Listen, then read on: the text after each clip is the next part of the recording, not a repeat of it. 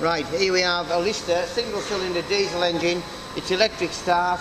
It runs a generator. The generator is no good. It doesn't work. But the engine starts, runs absolutely no bother. So I'll show you that start now.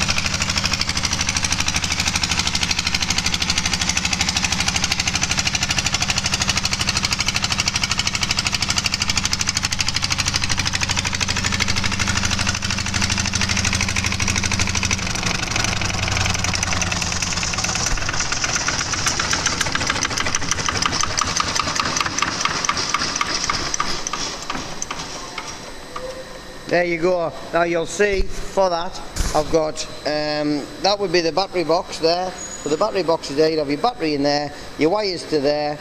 I've just fixed up a tank which we'll leave on it. There's a tank there which we've run just to run some fuel in to get that to work. So there you go.